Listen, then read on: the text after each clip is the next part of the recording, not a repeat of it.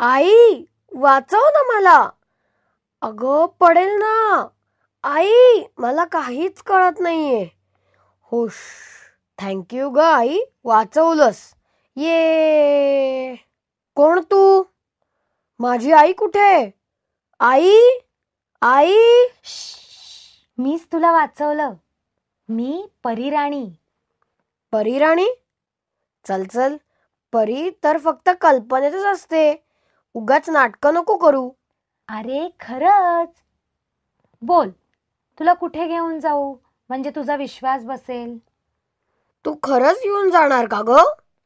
मला उंच उंच आकाशात जायचंय. चांदण्या जवळून पाहायच्या आहेत. आपण राहतो ती घरे झाडे पाणी. कसे दिसत असेल ग? खूप सुंदर रम्य परिसर दिसतो. मी उंचावरील पक्ष्यांसोबत गप्पा मारू शकतो का ग? मलाच जर पंख असते तर?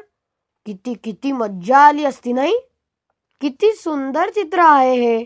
हो ना? तुला आवडेल का या जगात? मला तर खूप मज्जा येईल. काय करशील या जगात गेल्यावर? परीराणी या लाकडी घरात मी माझे आई बाबा राहतील. सकाळी या तळ्यात मी पाणी भरेन. पण परीराणी या तळ्यात अनेक मासे असतील का ग? हो असतील ना. मग मी पाणी भरताना त्यांना रोज खायला टाकीन. त्यांच्याबरोबर दोस्ती करीन आणि ते देखील माझे मित्र बनतील. पाण्याच्या खाली काय काय असते हे मला दाखवतील. मी त्या प्रत्येक माशाला माझ्या मित्राचे नाव ठेवीन. आम्ही एकत्र खेळू. पण परीराणी मासे मैदानावर खेळायला येतील का ग? नाही रे बाळा. तुलाच काहीतरी करावे लागेल. मग मी ऑक्सिजन सिलेंडर लावून तळ्यात जाईन हा. परीराणी या चित्रात एक मोठी वेल दिसत आहे. या वेलीच्या पानावर पाय ठेवत मी उंच ढगाच्या वर जाऊ का ग? हो. चल मी पण येईन. पण काय करायचे आपण? या उंच वेलीच्या पानावर पाय ठेवत वर चढत जाऊया. ढगांमधील गार गार वारा अंगावर झेलूयात. जाता जाता मला त्या पक्ष्यांभोवती फिरायचे आहे. त्यांच्या बरोबर गप्पा मारायच्या आहेत. त्यांना या आकाशात किती छान वाटत असेल ना? मला पण पंख फुटले तर मी त्या ढगांमधून जोरात फिरकी घेईन आणि उंच आकाशात पक्ष्यांसारखा उडेन. ढगांमधील पाणी प्यावेसे वाटेल. उंच डोंगरांवर जाऊन बसेन. विमानात बसलेल्या लोकांना सुद्धा मी दिसेन. आणि झोपावेसे वाटले तर आपल्या मोठ्या फुलाच्या पाकळीत अलगद जाऊन निजेन. सकाळी फुलांच्या पाकळ्या उमलतील. सूर्याची किरणे माझ्या अंगावर पडतील आणि मी जागा होईन. वा वा. खूपच सुंदर कल्पना आहे. मी तुला त्या जगात घेऊन जाईन. जाता जाता एक गोष्ट सांगते. हो सांग ना. एका जंगलात एक कोल्हा आणि करकोचा राहत होते. करकोचा रोज पाण्यातील मासे पकडून खायचा.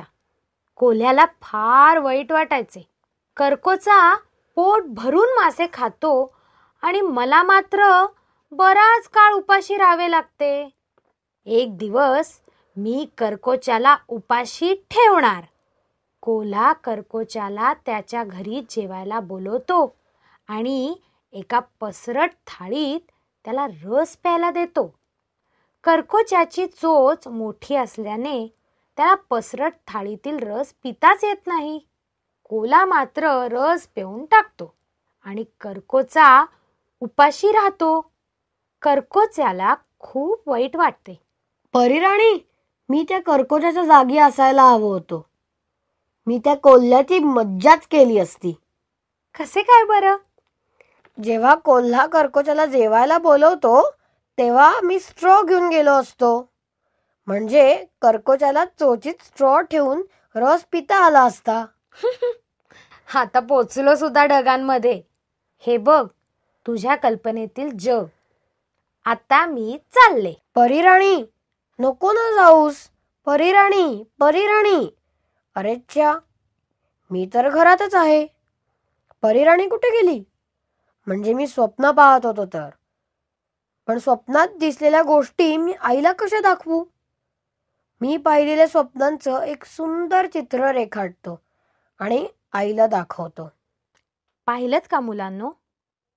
अशा प्रकारच्या अनेक कल्पना तुमच्या मनात तुमच्या विचारात आणि स्वप्नात असतात. हो ना? पहा बरं मी तुम्हाला एक चित्र दाखवते.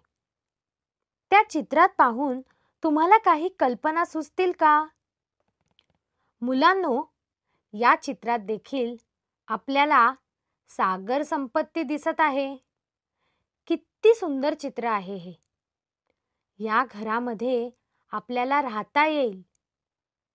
जर आपण कुठे फिरायला जाणार असू तर तो ड्रेस घालून जावे लागेल.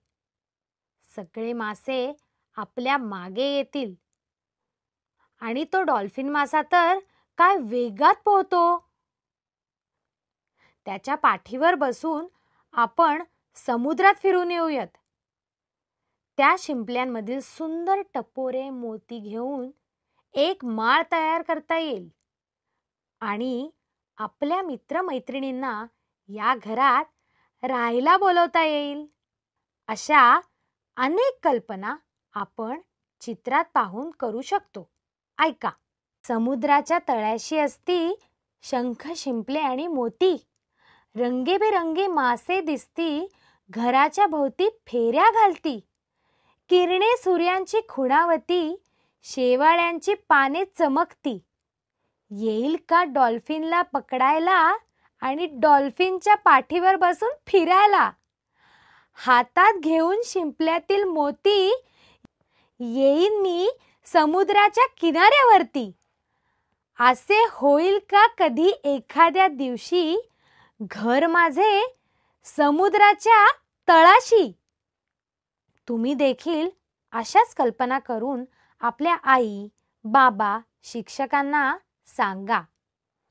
आपण काय शिकलो? कल्पना करताना आपली सृजनशीलता वाढते. शब्दसंपत्ती वाढते. कल्पकतेमधून आपण गोष्ट तयार करू शकतो. स्वाध्याय. दिलेल्या वर्णनावरून तुमच्या कल्पनेने सुंदर चित्र काढा आणि रंगवा. तुम्हाला चॉकलेटची छत्री मिळाली आहे. उन्हाळ्याच्या दिवसात तुम्ही ती चॉकलेटने बनवलेली छत्री घेऊन बाहेर जाता. डोक्यावर सूर्य आलेला असतो आणि चॉकलेट हळूहळू वितळू लागते. एका बागेत रंगीबेरंगी वेगवेगळ्या आकाराची फुले झाडे आहेत. आकाशात ढग जमा होत आहेत आणि आश्चर्य म्हणजे फुलांना ढगांना डोळे कान नाक तोंड आहे. कविता देऊन कल्पनेने सुंदर चित्र काढा आणि रंगवा. उदाहरण असावा सुंदर चॉकलेटचा बंगला.